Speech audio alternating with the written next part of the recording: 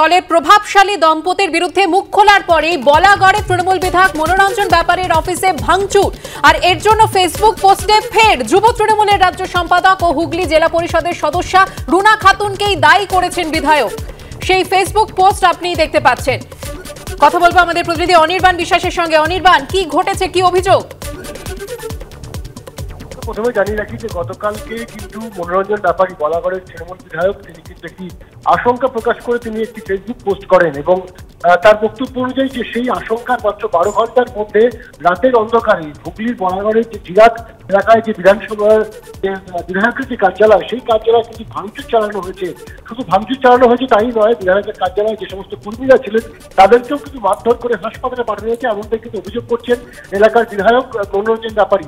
এবং তার অভিযোগ যে এই সমস্ত ঘটনার পিছনে কিন্তু রুনা খাতুন এবং তার স্বামী এবং তাদের দলবলেরাই যুক্ত রয়েছে।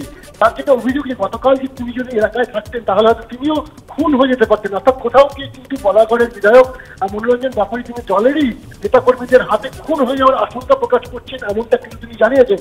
এবং তিনি আরও পাশাপাশি তিনি প্রশ্ন তুলেছেন যে দল কিন্তু গোটা বিষয়টি নজরে রাখছে, কিন্তু দলের তরফ থেকে এখনও পর্যন্ত সে অর্থে কোনো ব্যবস্থা নেওয়া হয়নি। কিন্তু সুব্রত বক্সির অফিস অর্থাৎ রাজ্য সভাপতির অফিস থেকে যদি দুপক্ষকে বসিয়ে আলোচনা করা হয়, তাহলে হয়তো এই সমস্যার সমাধান হতে পারে এমনটাও কিন্তু তিনি মনে করছেন।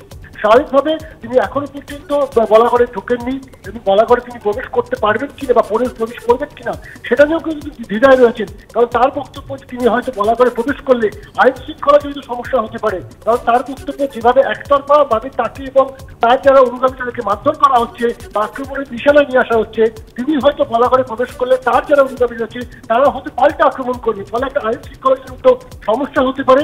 তাই তার আর্জি যে দলের তরফে এই গোটা বিষয়টি নজরে রেখে এই বিষয়ে সমাধান করা হোক এবং তিনি চাইবেন যে দলের তরফে কিন্তু একটা ইতিবাচক পদক্ষেপ হোক, এই সমস্যার সমাধান সুকন্যা ধন্যবাদ অনির্বাণ। অন্য কেউ নয় দলের নেতার হাতেই খুন হয়ে যাওয়ার আশঙ্কা খোদ বিধায়কের। বিস্ফোরক অভিযোগ করছেন বলাগাড়ের তৃণমূল বিধায়ক। এমনকি এতটাই প্রাণ ভয় রয়েছেন যে নিরাপত্তা না পেলে নিজে নির্বাচনী এলাকায় যাবেন না বলে জানিয়েছেন মনোরঞ্জন ব্যাপারী। নিশ্চয়ই অনৈতিক কাজে বাধা হয়ে দাঁড়াচ্ছি তাই এই সমস্যা বিধায়কের বিরুদ্ধে পাল্টা সুর চড়িয়েছেন যুব তৃণমূল নেত্রী। তৃণমূল অন্য দলের হাতে কটা মরেছে? যদি গুলি একটা গুলির তো অন্ধ হয় চালিয়ে দিল কি করবেন আপনি? খোদ তৃণমূলেরই বিধায়ক কিনা খুন হয়ে যাওয়ার আশঙ্কা করছেন আর তার অভিযোগের আঙুল দলেরই একাংশের বিরুদ্ধে। তিনি মনোরঞ্জন ব্যাপারী হুগলির বলাগড়ের তৃণমূল বিধায়ক। গাড়ি আমি যা ভাড়া নিয়েছিলাম গাড়ি সে গাড়ি তুলিয়ে দিল।